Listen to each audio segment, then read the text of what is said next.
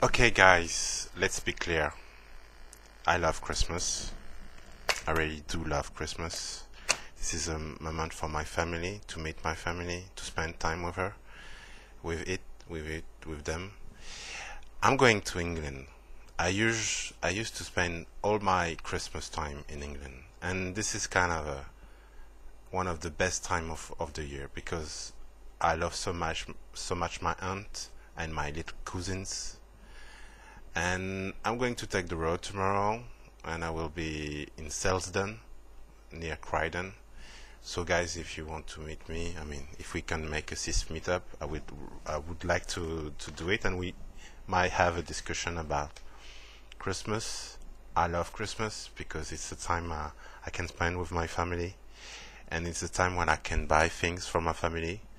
Right now, I don't have a lot of money, and uh, and another thing, I wanted to buy a Wii for my little brother. I cannot, for two reasons. There is no more Wii anymore in France, and I don't have enough money to buy it anyway. So um, and this is a very good time to eat. As you know, French people love to talk about cooking, eating, so it's a really great time to eat. Nice to have some nice present, to think about the others. I'm not in like Christian stuff. It's not about religious faith or whatever.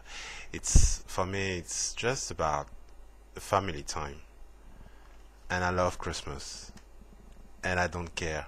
And the thing I love in Christmas, especially in England, is the Boxing Day.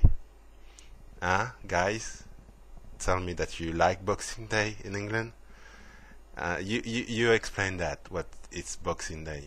I don't know if American get that, but it's, it's one of the best periods in the year, right?